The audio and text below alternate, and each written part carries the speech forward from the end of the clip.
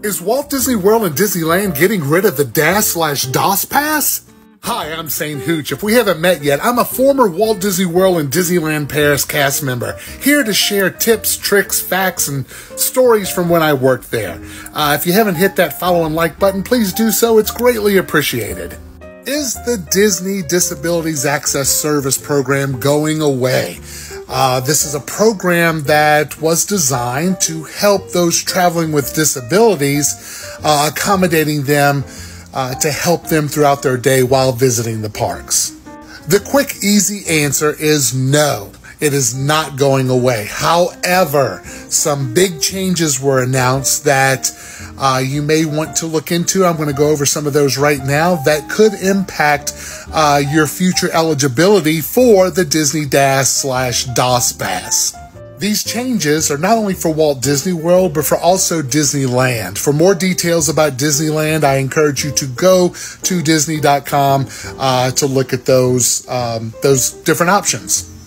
First, let's talk about Walt Disney World in that there's no longer a 30 day window in order to uh, re register for each time that you visit the parks. That is now being extended to 120 days. So there's less hassle of you having to have to reapply every 30 days. Now it's going to be 120 days. Stated on the website, it appears that the DAS Pass uh, will now be limited to those traveling with disabilities similar to autism um, or, or other comparable quote disabilities.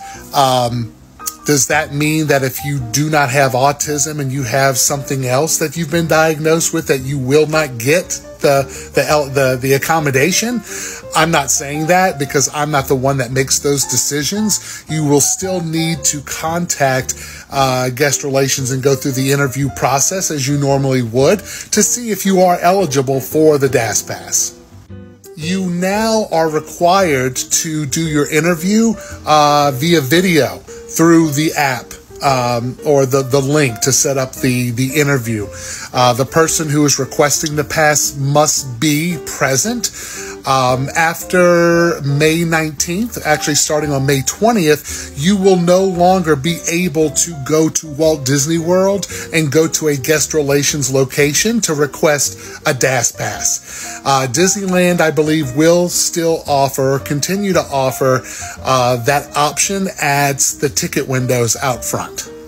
Another big change with the DAS Pass is that now you will only be eligible to have four people in your party, not six.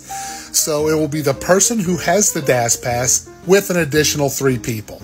Um, so they've cut down the number from the size of the party. Um, I'm not sure if exceptions will be made that is something you will have to talk to a guest relations cast member once you schedule your interview. Uh, you can go on the Disney.com, hit Walt Disney World, go to the website. There is a number that you can call with questions, uh, and they may be able to better answer those questions for you. I'm just not in a position to be able to uh, talk about those types of exceptions and or what determines approval in order to get the DAS pass.